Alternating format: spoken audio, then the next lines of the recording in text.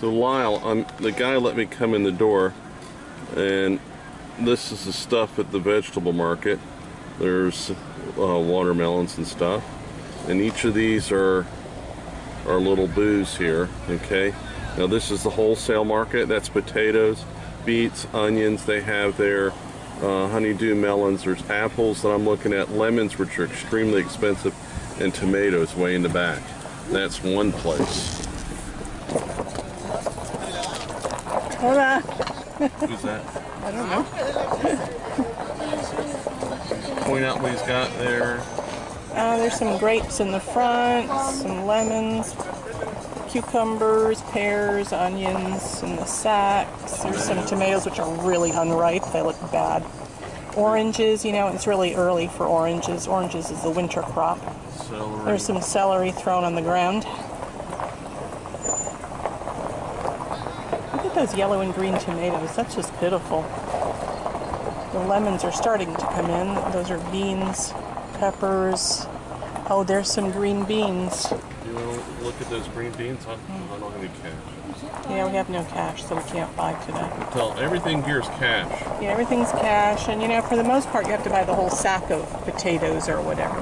Sometimes they'll sell it to you by the kilo, oh, but Beans usually not. They got Strawberries. strawberries. Where in the world are they getting strawberries from? There's huge sacks of peas. Cabbage. There's some nice cauliflower. Mountains of beets. See, these are the big trucks that they come down from the north with. Because you know, south of Santiago, the first few regions south of there are the big fruit and vegetable growing regions. So the nice thing about it is that everything is from Chile for the most part. You find very little imported produce. And it's all, you know, within 12 hours away.